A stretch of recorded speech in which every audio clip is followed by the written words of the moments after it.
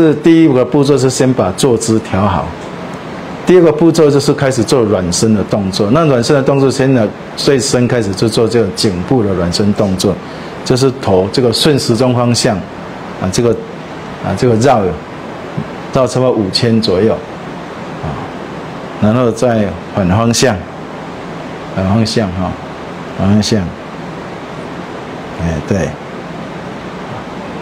啊做完以后，然后。就往后仰，往后仰，这个是把它拉一下哈，对，往后仰，然后再往前倾，请拉一下，啊，好，那头部把它椎直，然后身体这个肩膀，啊，稍微摆动一下，哈，摆动一下，啊，这是可以让你身体可以比较放松，看了解啊，好，那么这些动作完以后开始。眼睛闭起来，手头顶上颚，深呼吸，把身体拉直。深呼吸，把身体拉直。吐气的时候，身体放松，嘴巴下收，脸部保持微笑，然后开始做九节活风，做九次的深呼吸，慢慢的深呼吸。慢慢的吐气，这个是调息，就是把你的呼吸给调顺了以后再来打坐，这样子等一下你在修三宝禅修的时候，你这个出入息才会比较顺畅，才不会因为出入息不顺畅而产生你在打坐的时候比较不容易专注。所以我们讲调九次，如果你调九次你还是感觉你的呼吸不太顺畅，你可以继续的把它调到顺。再来打坐，所以打坐的前奏要做好，哦，不要挤，因为你一挤，你等一下打坐的也是没有那什么效果，因为会很多障碍出现哈。你打坐过程当中，如果你会有这种啊昏睡啦，或者是坐姿会有一点啊不舒服，那是重新调息、调调身、调息，重新调身、调息。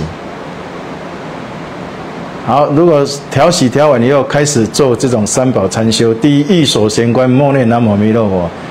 就吸气的时候，自然吸气，不要念；吐气的时候，念南无弥勒佛，就南无弥勒佛。为什么最后一个字要拉长？就是把你的气全部吐完、吐尽啊。然后吐尽以后，再重新吸气，吸气都不要念。为什么吸气不念呢？因为吸气念的话，如果你那个佛号，那个啊，如果那个节奏不好的话，比较容易胀气哈。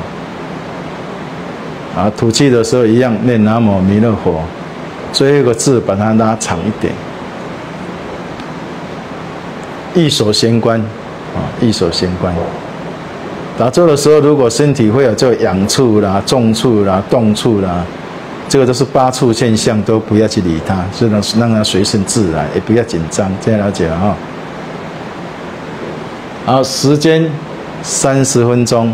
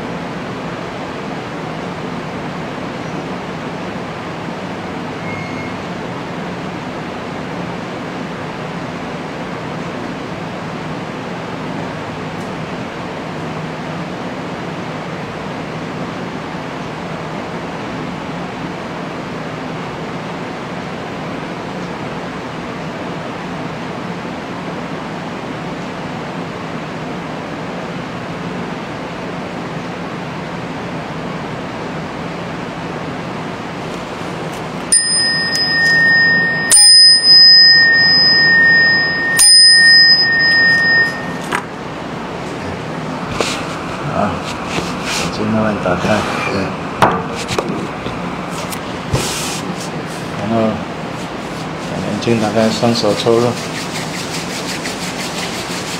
这时候脸部稍微做上下按摩。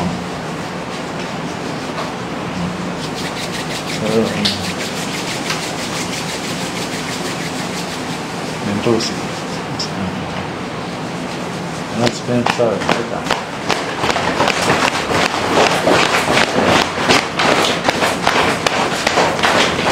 再继续抽了，在我们的肾脏的要地方上下，上下，最好是抽到有这种热热的感觉，这样最好，这样对我们的肾脏也很有帮助哈。嗯，这个动作如果在家里可以做久一点哈，对身体很有帮助哈。然后来再脚把它拍打，让他的脚如果刚刚打坐的时候会麻会酸。会硬，我打一打就会放松哈。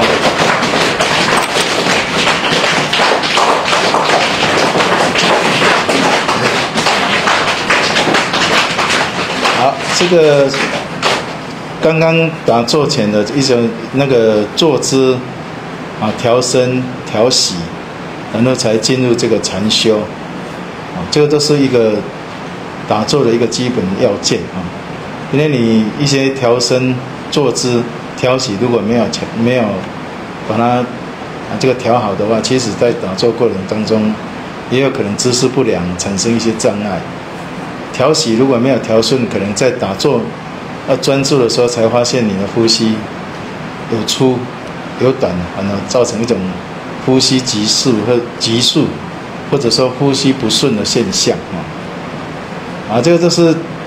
之前打坐前的一些调坐姿、调身、调气的一些重点啊。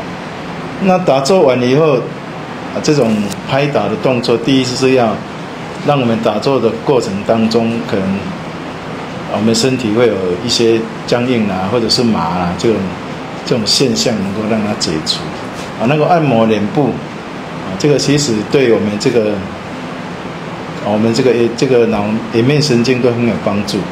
啊，然后呢，这个肾脏这个地方上下，因为我们打坐最主要是要去啊修炼，让这个气也能够起来哈。那肾脏就是在五行中就是比较能够造人体的这个气气的一个一个啊一个五官的一个一个做功一个功能哈。所以说我们在打坐完肾脏的按摩，其实这个是。在中医，在中学这个中医学里面也有告诉我们，啊，用这种按摩的方式，其实也可以让啊肾脏的这个气比较有力哈，甚至呢，对我们的身体也会比较有帮助。这样了解吗？哈，好，这些这些基本动作，其实每一次打坐最好是不要把它省掉，啊，都可以按部就班的去做，这样把它养成一种习惯，啊，这样子每次打坐你都养成一种习惯的话。这个打坐的这个效力或者这种效果，一定会慢慢会会呈现出来。那当然我们在道场是有时间性，那在家里你就可以自在的去打坐，不不一定要限制时间，这样清楚吗？哈。好，那我们现在开始进入分组讨论哈，就是哪一组哪一组就面对面这样子哈。那由组长负责。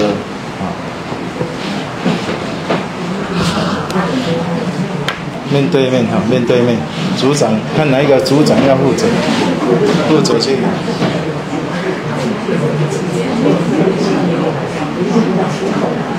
我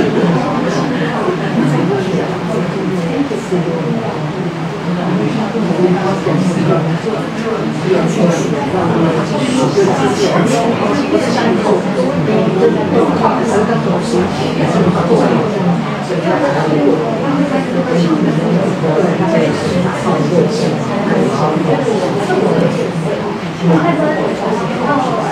方？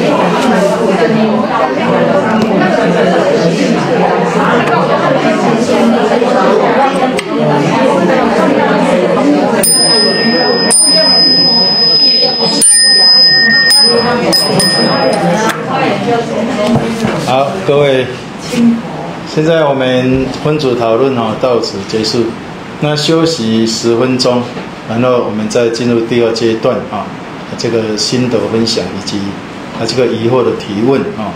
那等一下各组组长跟副组长就针对你们的啊那个小组的一些啊今天这个课程的啊这个这个心得啊，那心得就是参。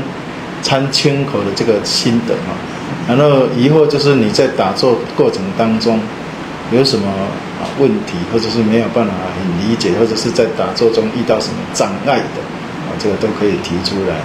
那师傅都是会统计下来，然后等总最后会跟各位做一个总结，或者是啊各组如果是有重复的，我会一致的这个回答，这样了解吗？哈，好，下课十分钟哈，今天的。题目叫做参，什么叫做清口？什么叫清口？然后呢，再来就是说，你们对今天共修的这个三宝禅修啊，这个过程当中有什么问题或者疑惑，需要这个啊解惑的，都可以拿出来来提问哈。好，我们就请第一组的组长开始做发表了。要不要拿走？这边吗？好。第一组好。哎，师尊，呃，各位师兄姐，大家好。我靠近了，两个靠近。我我是县台第一组哈。呃，刚刚那个做三宝禅修的心法哈，我跟我们第一组有讨论过哈。那呃，我首首先先讲我我自己的有在讨论我我自己的问题哈。呃，刚刚我跟另外一个训中师兄都有。呃，讨论到有相关于，就是就是在呼吸呼吸上的问题哈，就是说呃，因为因为我一开始都都会念那个南无弥勒佛，那所以一开始就是呃吸的话，我如果气如果吸少一点的话，我可能就那个吐气的时候念就好像感觉好像那南无弥勒佛没办法念得很很气很够这样子。那所以我就一直专注在，呃，呼吸上，就是吸气的话，就是一直调吸的长一点，让它保持可以充足的可以念完。啊，那啊，那就是一直专注在呼吸上这样子。那就是，那那在专注上这个呼吸上的话，呃，偶尔还会有一些杂念会出现，但是如果出现的话，就马上就是又又把它转回来这样子。那刚刚讨论的结果。哎，我发现哎，好像那个不用一直在念南无弥勒佛，只要专注在那个玄关处就好了。是是我搞错了，我一直在就是呼呃吸的时候，然后念，然后吐气的时候一直在念这个南无弥勒佛的佛号。他说我一直就是专注在这种调调这个这个气够不够，一直一直专注在上面。那这是就是我禅修这个刚刚做的那个三宝成就心法的，就是一个一个小问题。那如果我发现，如果我不一直念的话，哎，那就不不要念一直念这个佛号的话，那其实就自然呼吸的话，哎，我反而就是比较没有这方面就是气不够的问题。哎，这是诶这一小部分这样子。那那再来，那再来的话。清口是那个副组长讲还是还是我讲？就是看你们讲，看你们讲哦，看你们那一组哦，我们这组哦哦，这这关于清口方面的话，就是我觉得我们讨论就是说，也关于清口这方面可以分为两部分，就是一个是身体上的清口，那身体上的清口就是说，呃，不要就是贪图口欲之之那个的的那个欲望，就是不要说吃那些。为我而死，或是怎么样的这些贪图享受那种口欲，呃，这方面就是呃身体上的清口。那意念上的清口，就是有有关于那个呃两舌啊，妄语跟绮语，这就是讲一些呃不好的话，或是呃讲一些美丽的那个迷惑人心的话，还有一些那个两舌，就是这边讲那边。制造别人的那种纠纷，这种话，这个就是这亲口，我们是讨论，就是这大概这三部分这样子。嗯，我也要马上，我讲。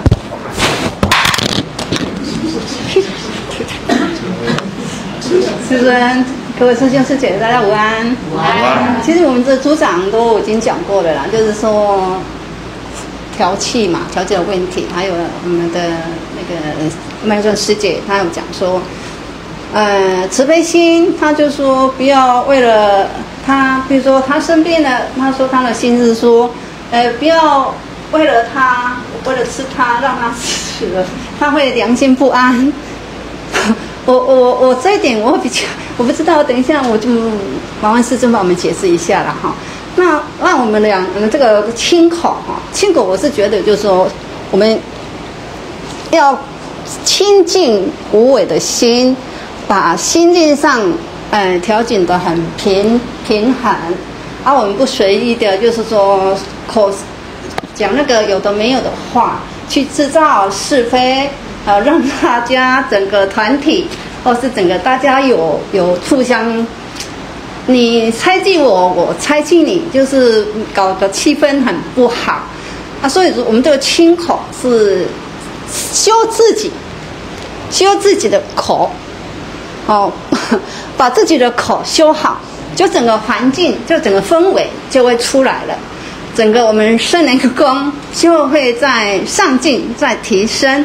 就是我我们这一组讨论的，就是大致上，我就是说，再加上我个人稍微的，呃，意识，我就稍微把它讲一下，就这样子。谢谢师尊，谢谢各位师兄师姐。第二组是。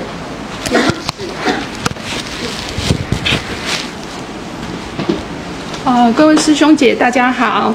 呃，我先综合一下我们这一组讨论的一些答案哈，就是呃，我们这一组的组员，有的人是呃，在家里，大家就会觉得说，在家里静坐比较没有办法专心，然后在家里静坐的时候，思绪很容易乱飞。但是今天在道场这个虽然嗯长达有至少半个小时的时间哦，可是就会比较安心的，呃，平静的坐下来。然后曾经有师姐在其他的道场，就是以前就是也修行过嘛。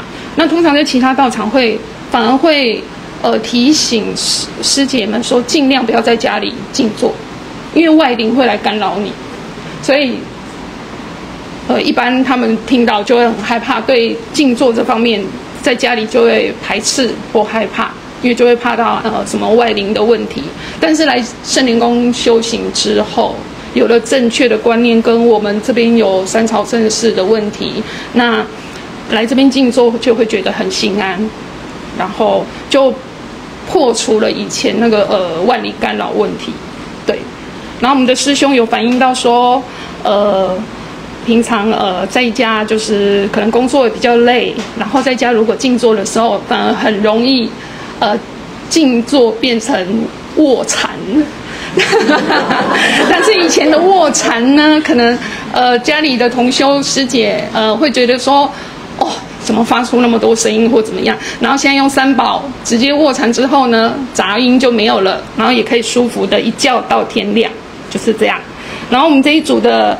呃，讨论到的呃亲口倒是，呃比较不是往出吃素方面来讲哈，大家讲到的反而都是口业口德的问题，然后就是也会有师兄姐们忏悔说，哦，我以前可能无意中讲了什么东西，你可能会影响到家里的气氛啊或什么的，那不小心有讲到八卦或同事间，你会好奇心去听。然后其实在这时候，那个思绪在静坐下来的时候，就会起了忏悔心，然后去反省这件事，而且会觉得说，像我，嗯，我自己想到的是说，如果你呃一个人，比如说你是一家之主或者一个企业公司负责人，你越在高位处，其实一言以兴邦，一言丧邦啦，就是你讲的话更容易影响大家，所以更要注意。我们在清口我们这一组的。呃，讨论结果是说，口业口德非常的重要。以上。师尊，各位师兄师姐，大家好。呃，那我们这一组刚在那个参禅静坐的时候呢，呃呃，师兄有提到，就是说，当他静坐的时候，他一手玄关，那玄关处呢就会比较有亮光。那呃。也有一位师姐，她是说她静坐的时候呢，呃，比较会有那个流眼泪，还有流鼻涕的一个现象，呃，这就是呃有师兄姐这样反映。那针对我刚刚个人呃静坐的情况呢，呃呃，我稍微做一下那个我自己的。感觉，呃，第一个就是说我在家比较没办法静坐，我想请教师尊，就是说我静坐的时候，我的气会比较上不来，那个在鼻梁的地方呢，它就会酸刺痛，那感觉就很难受，所以就会打消静坐的念头。哦，那今天在道场静坐呢，很神奇，没有这个现象，所以有办法专注做到三十分钟。再来呢，呃，我今天静坐的状况呢，分前、中、后三个现象。刚开始的时候调身调息，觉得就是说。呃，心中呢要念南无弥勒佛，却把这句佛号就是说一直谨记在心，然后呢就，呃，这个念头占据了，然后就导致这个呼吸比较不顺畅，那觉得有压力，所以就比较静不下来。后来呢就把它这个。南南无弥勒佛，就是说，不要一直执念、执念、执念，然后渐渐的放下以后就比较轻松。当我把念头放下的时候呢，啊，突然又想到啊，今天参禅呢，主题是清口，那就闪闪到清口两个字，突然呢，哎，我就在我的那个眼。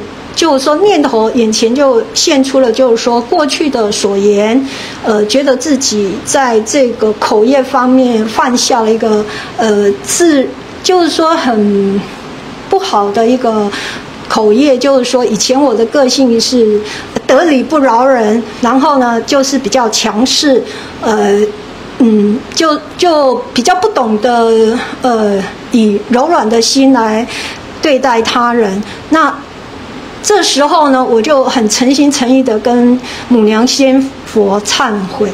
那我静坐的时候，其实在玄关处，呃，几乎比较少会有，呃，呃，大家所感觉的亮光。可是这时候，我觉得，当我当下在忏悔的时候，很神奇。我觉得我的玄关处眼前是看起来是比较光亮的。然后，呃，我我我心里面就觉得也很奇怪，就是说。我的整个重心好像突然变重，然后哎，身体会往前倾，往前倾，然后稍微晃动。嗯，后来呃，就是说，呃，在亲口这方面，我就一直忏悔，呃，过去所言所行，如果有不对的地方呢，就是请母娘慈悲哦，让我有一个改过的机会。然后就就是说，呃，亲口呃以前犯下的一些谎言或祈语之类呢。呃，经由这个道场的修行、师尊的教诲呢，能够慢慢的修正自己的行为、口业。呃，那呃这个念头呃忏悔完以后，我就觉得轻松很多。要不刚开始的时候，呃，在做这个禅修的时候，我觉得心跳比较快，然后是属于比较紧绷的状态。然后到第三。个阶段到后期的时候呢，就是整个会比较放松，脑子就是说，就就这个清口的念头没了以后呢，就又慢慢回到念南无弥勒佛的佛号，那慢慢慢慢呢，就是又把这个佛号放掉，然后就觉得去感受一下那个片刻的那个宁静，这时候就觉得呃身心就很轻松，那在。禅坐的过程里面，呃，我吞了四四次的那个甘露水，然后刚开始的时候，整个胸口、心脏，呃，都觉得是很好像有一团火，很很热，背部也很烫，嗯，然后产生的现象就是热、烫，然后呃，眼角也稍微有一点那个泪水，呃。这这是产生的现象，然后呃，我我觉得我们这一组就是说，我觉得大家在清口这个部分下的定义非常好，就就是说，呃，不着比较不着重于在这个素食方面啊，然后就是以尽量不不犯口业，然后呢，营造一个很好的口德这方面去努力，谢谢。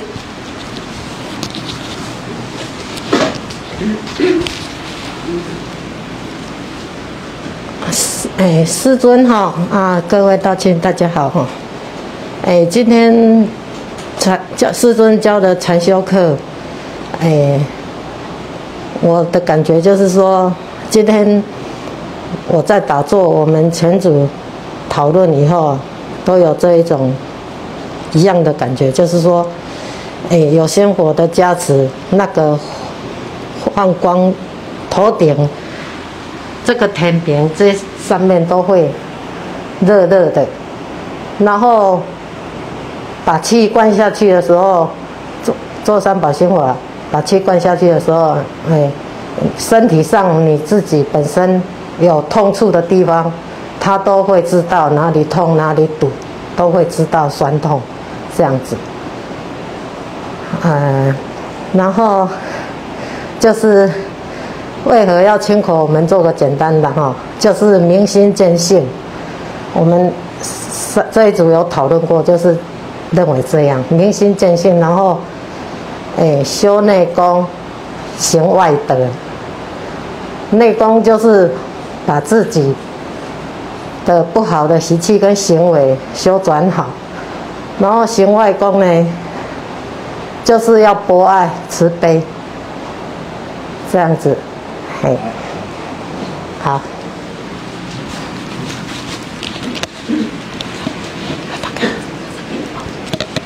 大家好，呃，我是我们是我是第三组，然后我们今天的组员每个人，呃，有三位都是第一次做，然后呃，大家的感觉都是呃很舒服，然后有呃。有有这些呃加持，就是这些呃加持，我们大家感觉就是做的真的就是很舒服，呃。大家可能在家里都坐不住的，然后来这边都觉得就是很舒服。然后有我们这组有讨到亲讨论到亲口，因为其实很多人常会讲啊，我们要为善呐，我们要呃口出善言之类的，可是都是嘴巴上讲。所以我们这组认为，其实你光嘴巴上讲是没有用的，我们要由内心发出来，去去真的去切实去做到，呃，不要只是嘴巴上这样子讲。然后今天大家的感觉都说这种静坐的方式，呃。都很舒服，很很很有那种感觉，都觉得那个三十分钟好像十分钟咻一下就过去了，然后呃都呃非常非常非常非常好，谢谢。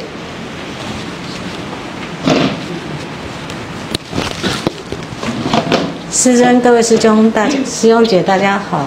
我们这边今天的静坐是，有人觉得今天他礼拜三也有来，那今天他来，又他又说他觉得礼拜三时间不够，但是今天时间太长了。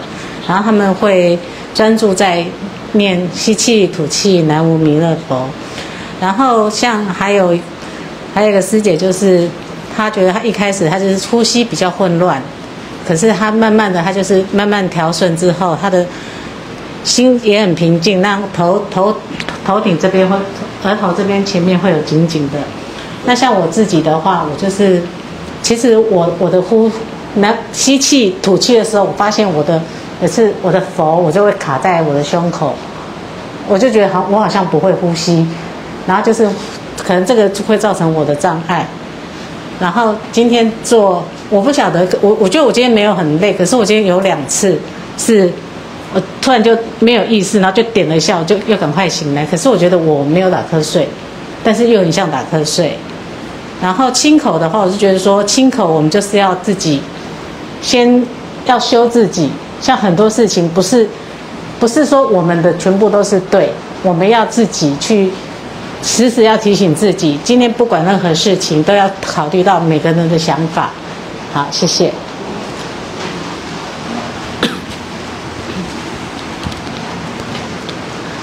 师兄，大家好！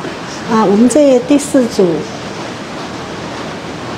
我在刚开始静坐的时候是吸不到气，我认为我的心脏是不是有问题？后来我慢慢的调试以后，就比较平缓了。啊，啊，中间就有一个意念闪到，今天的主题是维和清口，给我意念突然欲望。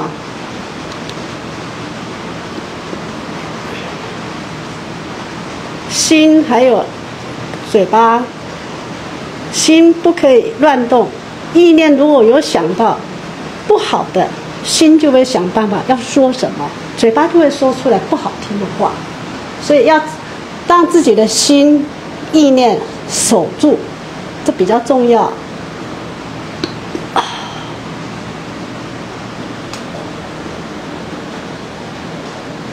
之前大家都有说过。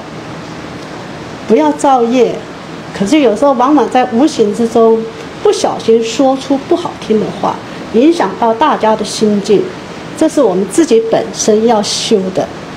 清口，意念要清，心境要清，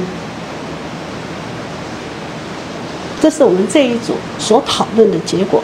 谢谢。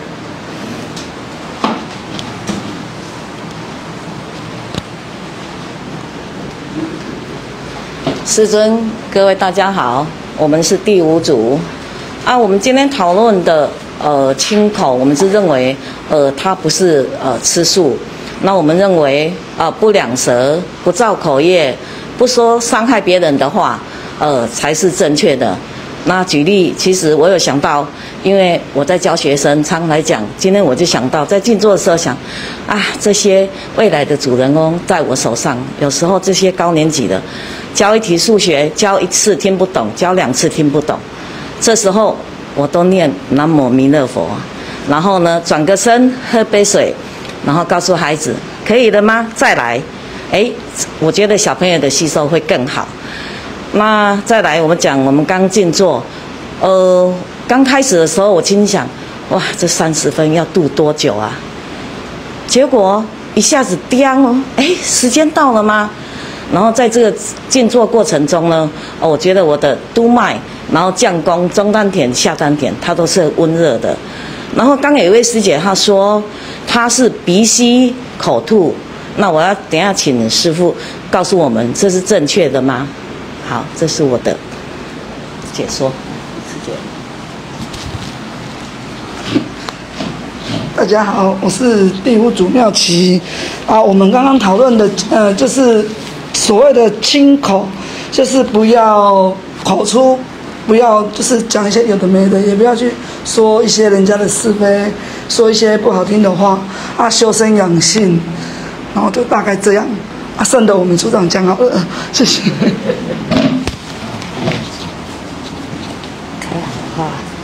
师尊、各位师姐、师兄，大家好，我是第六组妙正哈。我们这一组呢，有两位新皈依的师姐哈，她对于这个三宝心法跟师尊讲上的课呢，还没有听过很多，啊，很多不是很详细、很了解。但是我他们刚刚分享，就是说今天虽然这个静坐三十分钟这样子的话，他们很有感觉，就是一开始呢静不下来。后来呢，慢慢的吸气调气顺了以后呢，就开始额头冒汗了，慢慢就静下来。其中一位师姐还分享，我自己也是有这种感觉，中间有一段好像空白，有点像睡着了一样，突然醒了这样子哈，这样子坐下来就是全身非常的舒服了，啊。那至于清口呢，我们也有讨论过，就是说，呃，要修自己的口啦。啊，不要去呃造业，不要造口业。那至于吃素不吃素是其他的，就是师尊常常讲的，就是说吃三净肉，不要为我而杀，这样子的话就可以了。哎，谢谢。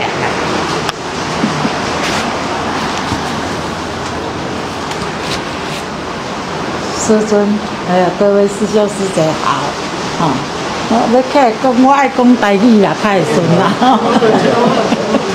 嗯，哦，我安尼就是讲这个清苦吼，清苦咱得爱清净之心啦，吼，啊来做，啊来为吼，啊来明心见性，你来了解讲这个清苦到底就是爱安怎做，吼，啊唔好去甲人做业啦。哦，甲人共业啦，什么代志拢莫去乌白讲话啦。哦，啊乌乌白讲话，反照倒转来会去拍着咱啦，拍着咱家己啦。所以哦，也是爱较清苦而为啦。吼，啊，即个静坐的时阵呢，我吼坐落去吼，就是规身躯会烧，会烧起来，啊烧起来到到尾啊换头壳，敢若咧冒冷汗啊。冷汗、冷汗啦，吼，啊，就是安尼，哈，报告完毕，谢谢。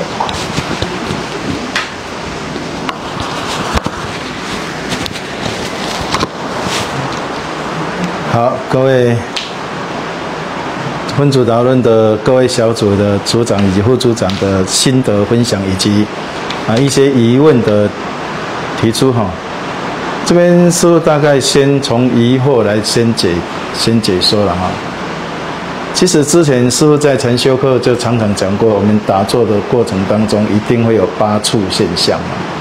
那这八处现象，第一就是动处，再来是热处、冷处、重处、轻处，再来是滑处跟啊这个，我我们的滑处的滑处就是讲骨骨安尼啦哈，和涩处就是讲。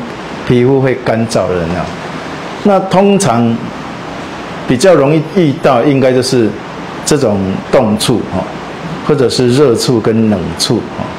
那冻处师傅之之前就有讲过，它有分为灵动跟气动。那一般在佛教教学，他不会跟你讲灵动，因为他们不涉及这一块啊，他们对这块也没有研究啊，所以所以他们都把它定义在这个啊这个气动的部分，而不是。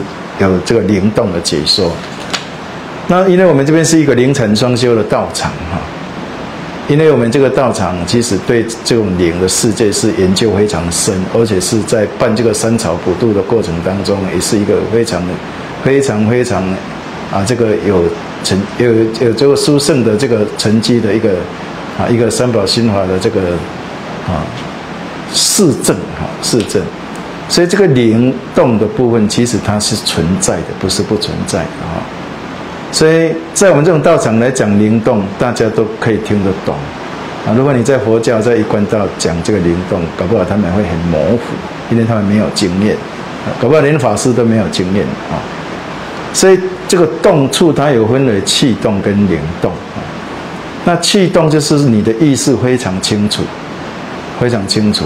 但是你的身体可能会因为你的气血不顺，或者是血管有阻塞的现象，它会透过这种气动的现象来把你打通你的气脉，啊，所以打坐过程当中会腰酸背痛、酸麻痛，透过这种气动以后，当你的气动停止的时候，你会发现，如果你真的不是很严重的受伤者，诶，这种现象会解除。那这种像解除以后，其实代表你的气、你的气脉是通的，通的。那气脉通的时候，当然会比较在修禅过程当中就比较不会有障碍，就会进入下一个阶段的这种啊禅修这个境界。那灵动，灵动当然是是你的意识会比较昏迷啊昏迷。那灵动又有分为先天灵、先天气，或者是祖先冤亲债主、外灵啊，这个大部分都有分成好几种等类啊。那通常如果是先天气的灵动，是意识虽然是会比有一种比较啊模糊，但是不会完全模糊啊，不会完全模糊，反而是一些啊这个外灵或者是一些啊这个阴灵的部分，你的意识比较容易比较昏迷的现象啊。那这种当然在我们道场来讲，大家也不必怕哈，这个因为我们道场在处理这个就是啊，就像。我们就是心脏科的专科了哈，这样讲各位应该就听懂了啊。这样所以这个是就大家就在这种大脑修行，其实是就不必啊去太对于恐慌，这样了解吗？哈。那么刚刚有师姐，很多人都说啊，身体会热啦，开始啊，有师姐说会冒冷汗的，就是刚刚讲的八处里面，它就是有热处跟冷处的现象啊。其实这个都是在打坐过程当中，我们身体的四大产生的变化。我们身体是地水火风所组成的，这个地就是我们的这个身体的骨跟肉，气就是我们的气脉、呼吸，水就是我们的这个液体跟水分、血液，啊，这个是地水火风。那么，这火就是我们人的温度，哈，温度。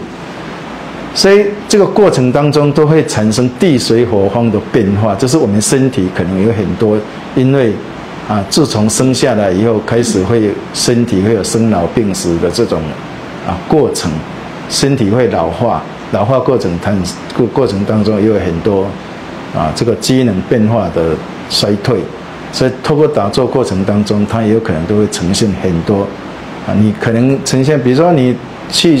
气血有不顺的人，你就比较容易产生酸痛、呼吸困难，种种因素都有可能哈。另外，刚刚说打坐的时候是鼻吸口吐，这是错的哈，这是错的哈，是要鼻吸鼻鼻吸鼻吐才正确的哈，因为我们手抖顶上颚是是不能口吐的哈，现在了解了哈，是不能口吐的。所以鼻吸口吐是错的啊！师傅师傅也从来没有教你们鼻吸口吐哈，这个这个是错的，这样了解了哈啊！自从你们来这边皈依三宝，师傅从来没有教你们是鼻吸口吐。各位有听过师傅讲过鼻吸口吐吗？没有哈，所以这个哪一个师姐发现的？你们这一组要注意哈，不是这样子，这样了解了哈。我们去我们去参加佛经，啊佛经那国内师傅。你现在是圣灵宫学习，不是佛七神。现在了解了，哎，对，了解啊。你要照圣灵宫的方法才对。那佛七每个道场的教不一样。以前我在中台禅寺也教过佛七，他也没有口没有鼻息口吐。现在了解了。我在中台寺禅寺还学到招几章毕业，还被维杰老和尚召见，啊，这个都是啊有事迹可证的。这样了解了哈。那师傅是经过临济禅宗专业训练出身的哈。所以这个绝对是没有问题，现在清楚了？哈，所以这个鼻涕口吐，这个是气空血在讲的，不是禅修学在讲的。气空血才会去讲口这个鼻息口吐，大家了解了哈。那禅修是不讲鼻息口吐，因为禅修是讲宁静的世界，所以都是比较讲呼吸顺畅。那各位刚刚有人说他呼吸有时候会卡到，会走不顺。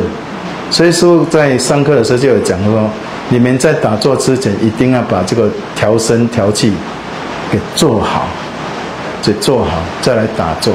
啊，不然你在打坐的过程当中，你就开始去发现啊，你看呼吸不顺啊，坐姿不良啊，开始就会出现了。那没关系，就算你打坐之前很认真的把这些动作调好了，那你在禅修过程当中，每个人的变化会不一样。那这个变化不一样，也有可能是你的身体本身就有一些过敏体质的。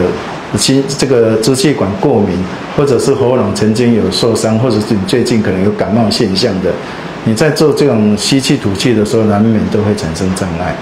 好，那这个经过比较常练习的过程，这个师傅其实以前是有经验的，因为师傅长期以来就有支气管过敏的这个体质的人。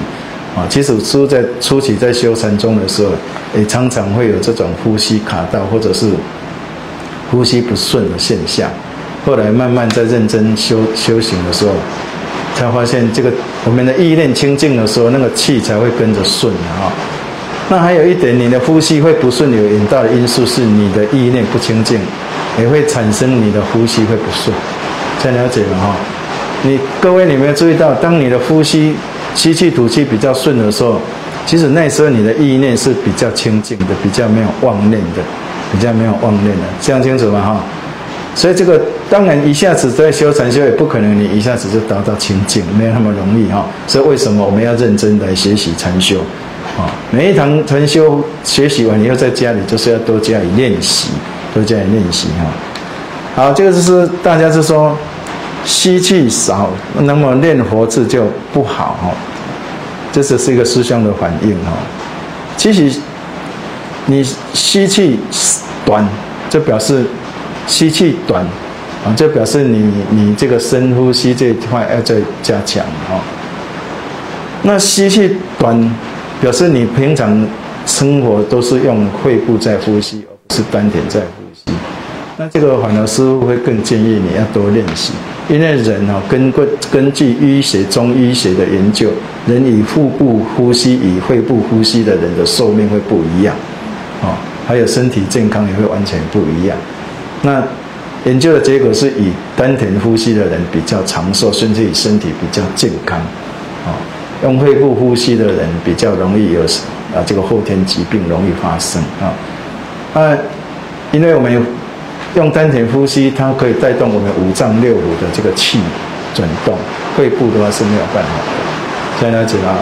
在这个你更加要去练，好好练习这个九节佛风的深呼吸完以后，开始去学修这个调息的这一块要做好，做好。好，这个是，然后呢，有些人说在家里不容易专注，在道场容易专注呢。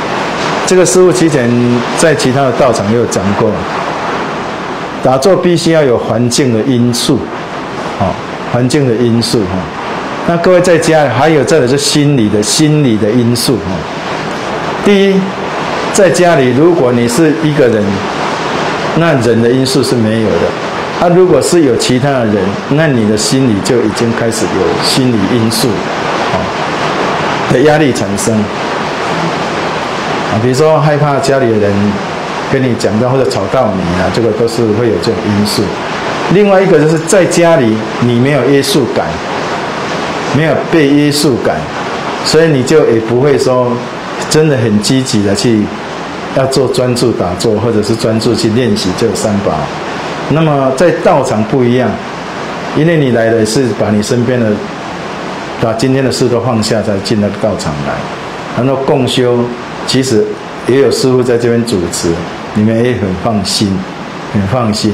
所以这个心理因素应该占比较多，啊，比较多。啊，所以为什么我们要来道场共修？有时候你在家里真的，啊，如果不在道场共修，其实如果你真的要靠你们在家里修禅打坐，你看你们来圣灵宫都已经超过一年的人非常多。你看师傅以前比较在比较少在主持这个禅修班，那因为我们现在五方道场已经成立，开始要来啊这个开这个禅修班。各位有没有发现？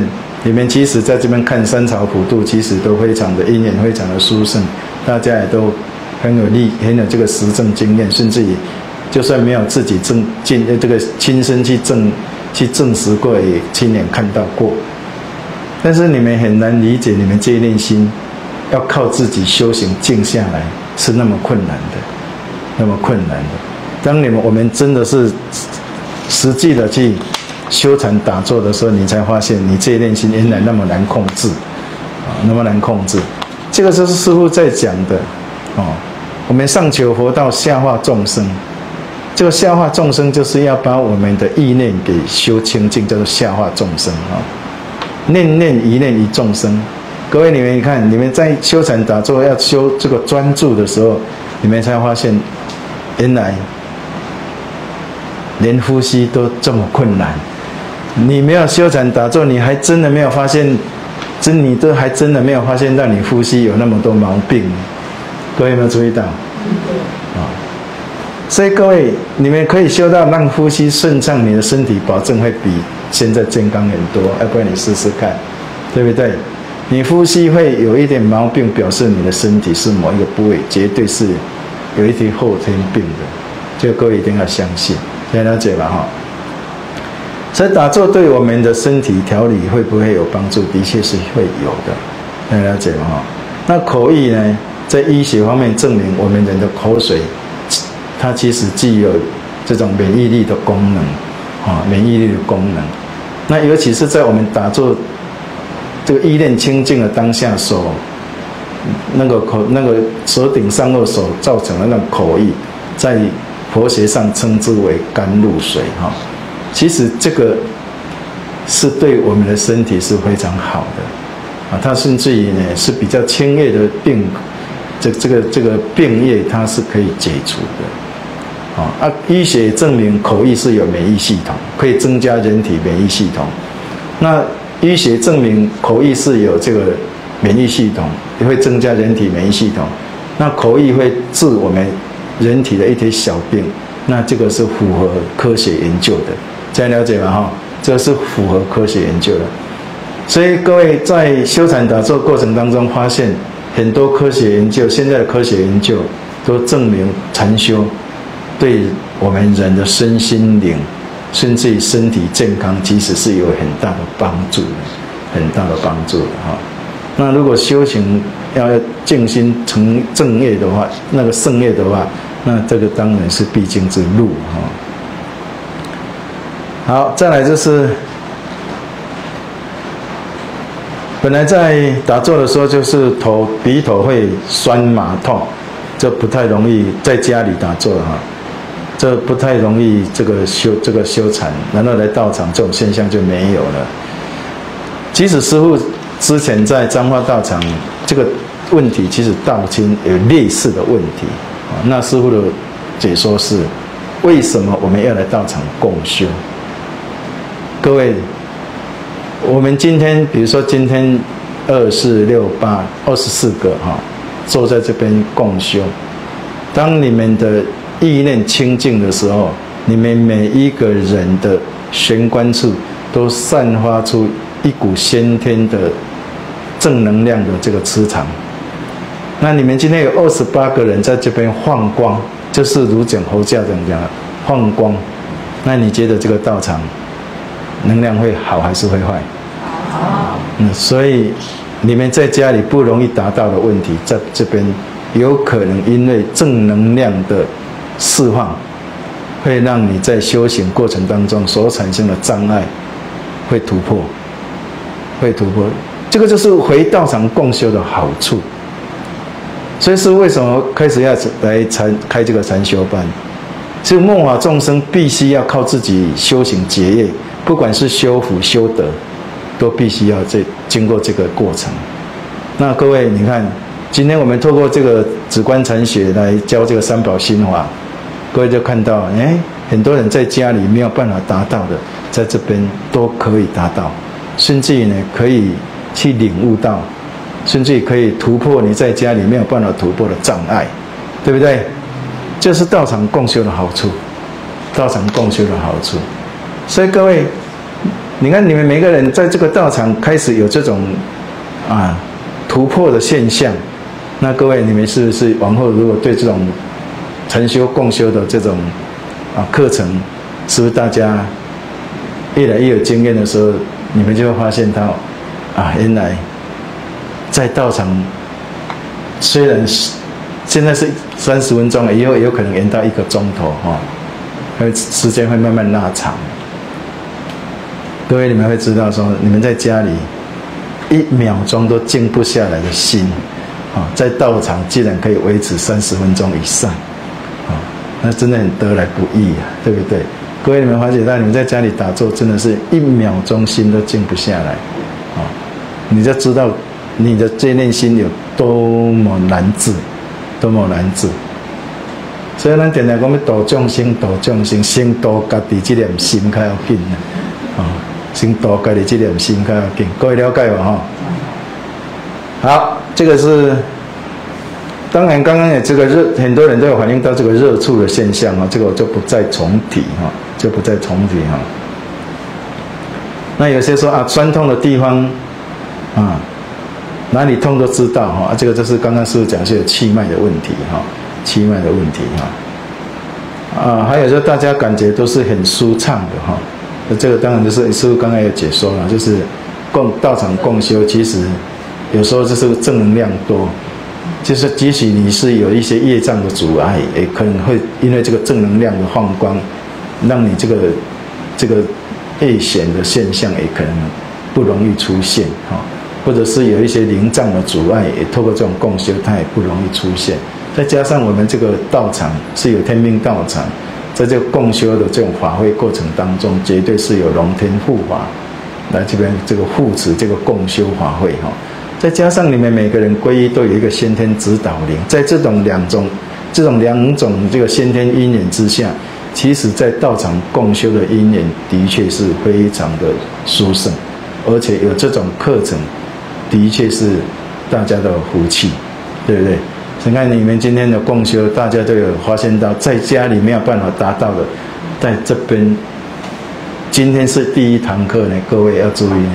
如果往后你们加以参多加以参与这种课程，你们在家里没有办法突破的，有可能在这边会一一的突破，是不是？那你说这个共修是不是非常的殊胜？非常的殊胜啊！所以大家互相鼓励，多参与这种类这种形式的共修，这个是圣灵宫开始进入另外一个比较高层次的修行课程啊。修行课程，这个都是出家人，是专业出家人才有办法参与这种课程的。你一般在佛教在家居士，你顶多去那边礼佛拜佛，啊，参加一个简单的禅修而已。你要真正像我们这种这么专业的教学的，除非你是出家人，除非你是出家人，现在了解吗？哈。好，再就是呼吸比较乱哈，这个刚刚师傅都有解说过哈。其实很多人在修行的时候，其实调气很重要。另外一种，就呼吸会乱，就表示你的意念不够清净，也会乱。好，那么呼吸的障碍有很多种。第一是你的意念不清净，第二就是你调息没有做好，第三可能你有后天性的疾病，比如说过敏性的这种支气支气管炎或者心血管。疾病的人，其实在打坐的时候，都有可能呈现呼吸比较不顺畅的现象，啊，那如果你本身已经有检查到这种毛病了，有在吃药的人，你就不必太紧张，啊，但是如果你没有的话，那师傅可能还是会建议你去检查一下，会比较好，这样了解吧？哈，会比较好，啊，所以说打坐有时候也会提早发现我们的业障在哪里，啊。这个也不错了啊，这个也不错。然后再来是说，呼吸会卡到哈，这个刚刚我师傅就有解说了哈。其实这个有时候可能是刚刚讲的那三种现象。那另外一种是多练习会改善，多多练习会改善啊，要有耐心的练习会改善哈。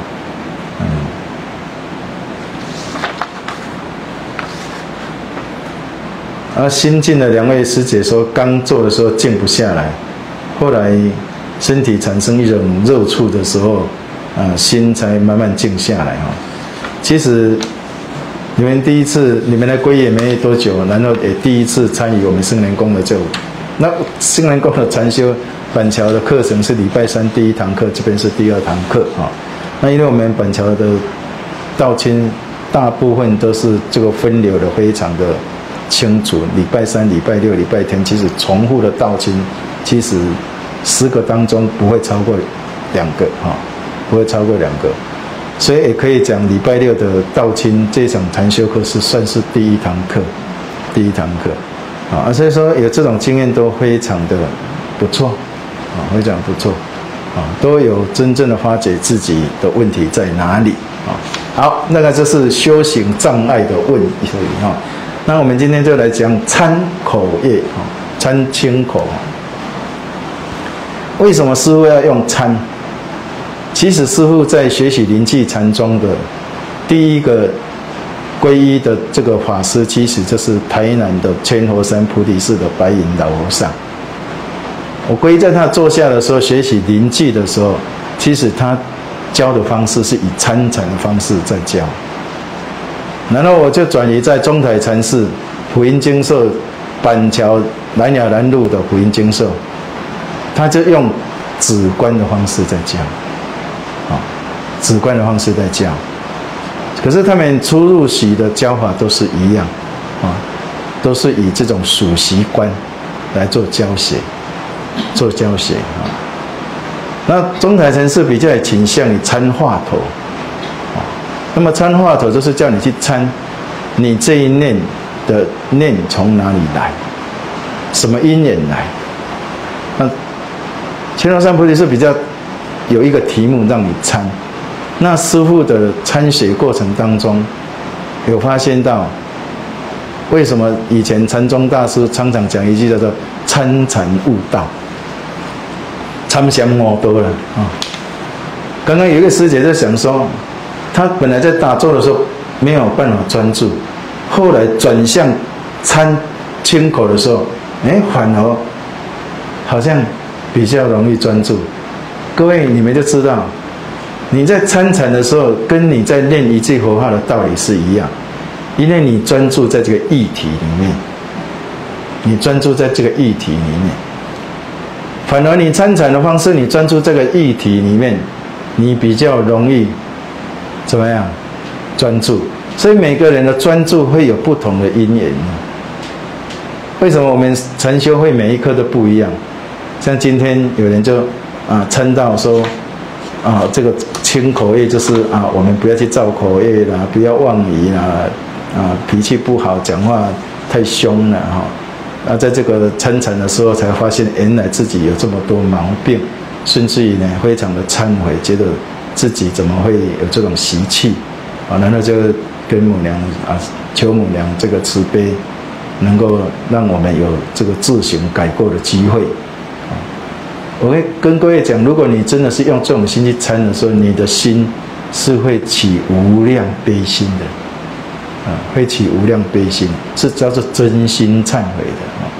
那么这种真心忏悔的无量悲心是会，你如果可以不断的这样子去参的话，你的这种禅的意境可以达到，是吧？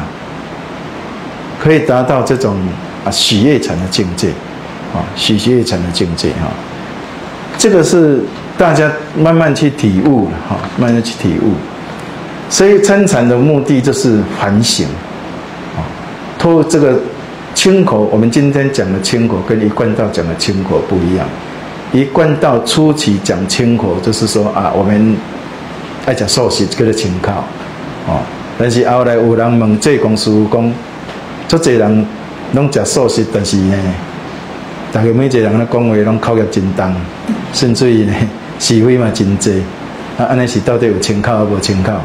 后来一贯道的这讲话的师尊胡乱的甚至讲，其实素食清口是一个其中之一啦吼。真正清口其实就是爱安怎爱改掉咱这个口业，这才是真正的清口吼。那么清口的定义就是我们不再。造口业比较容比较统一讲，就不造口业，叫做清口。就是我们不要去妄语，就是不要去讲啊一些邪知邪见的话啊，或者是共过我慢的话，两舌是讲是非，其余就是用美妙的语言欺骗别人啊，这个都是比较笼统的哈。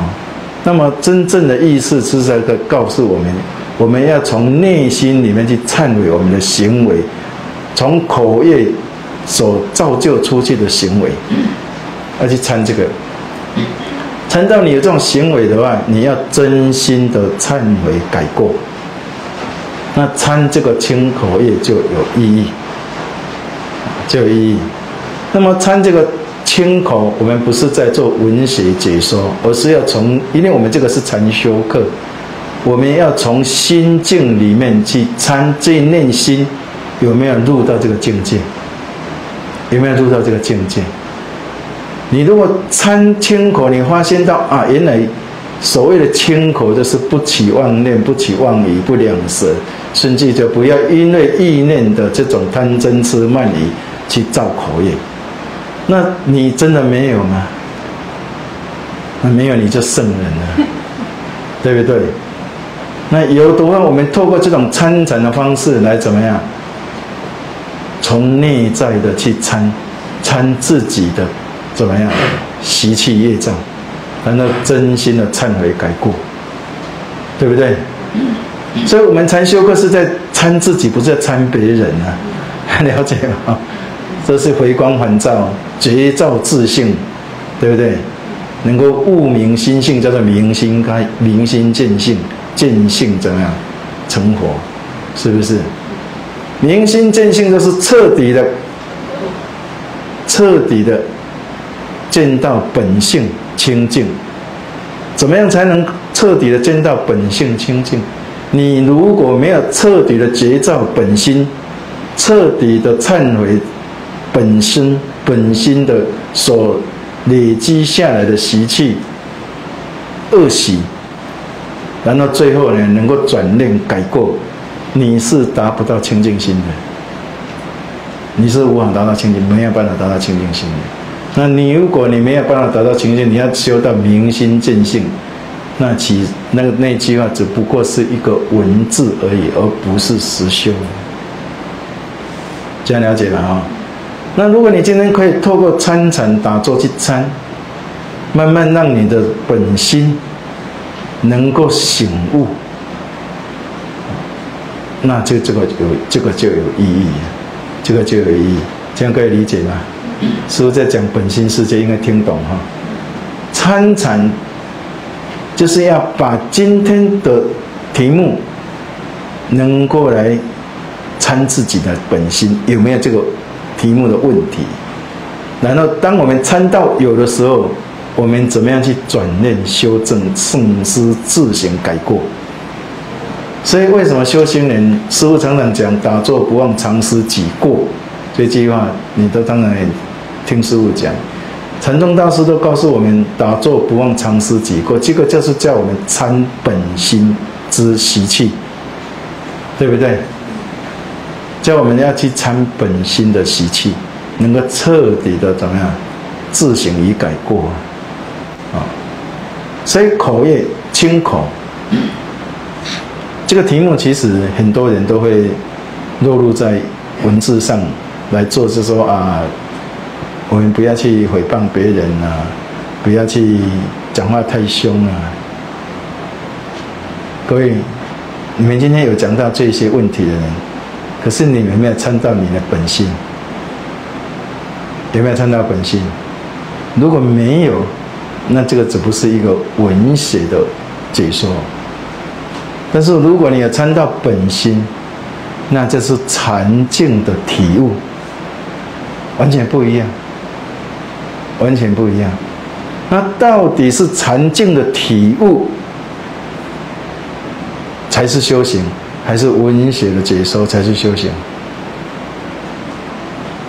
理解我的意思吗？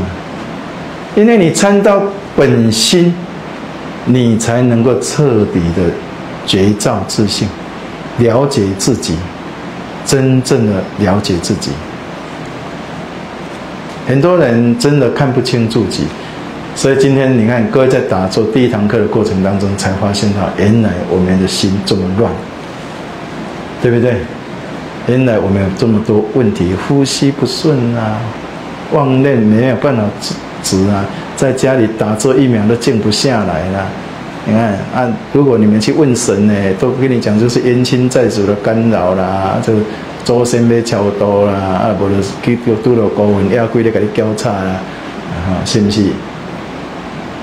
如果你只是迷失在这一块修行，那你永远会没完没了，你会永远没完没了，因为你没有在真理里面去寻求答案，没有在真理里面去寻求答案，那这种修行是迷失的。愚痴的修行，所以参禅，你看今天很多人参禅，哎，酸痛没了，那是不是业障解除了？对不对？在家里不容易打坐，搞不好真的是有因果的阻挠，在这边共修，为什么可以解除？所以为什么我们修行要找一个有法门、有名师引导的场地来修行？因为他才能真正的带领我们走出。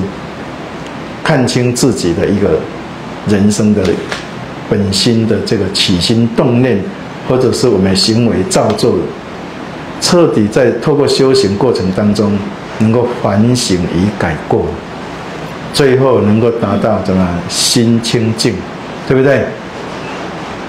所以，我们今天的题目其实是非常好，很简单。但是呢，如果要把它参到从本心里面去。真正的入境，入到这个心境里面去体悟“清口”这这两个字的含义，你的内心绝对会非常的怎么样？就像刚刚师姐讲，就会觉得怎么样？怎么我的个性这么差？对不对？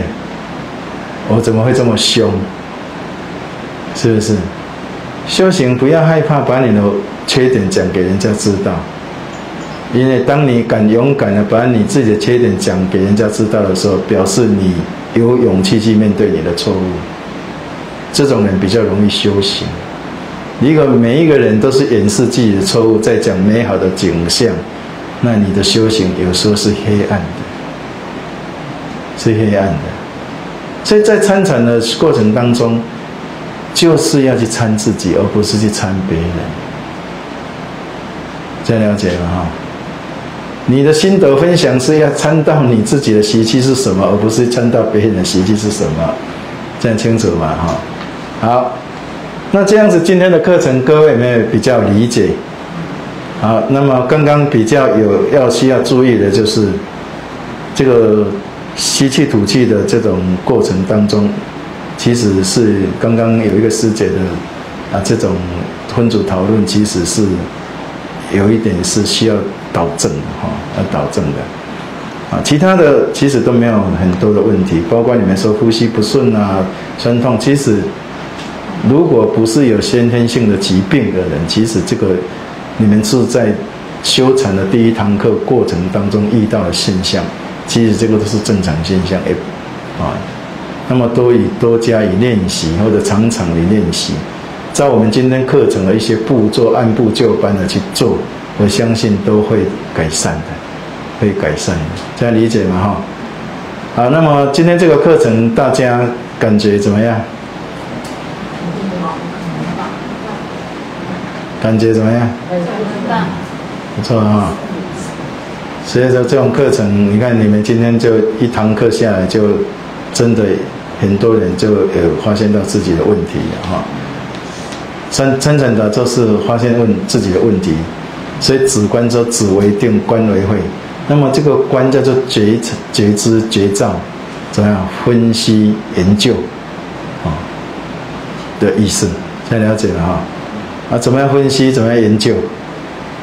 这是去分析自己的心，研究自己的心，觉察自己的心，看见自己的心。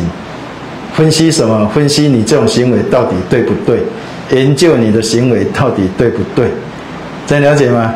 啊，这所以讲我们参禅真的是一个很好的课程，呃，课程好。时间关系，我们就讲到这里，来下课了。来，感恩黑莲上灵武敬老庙天命，降道依圣人宫，感恩弥勒祖师，红烛台湾慈悲普耀人伦。感恩先生师尊，建立圣人宫，互咱有道可求，有道可修，有道可用，了完成道。南无弥勒佛。好，下课。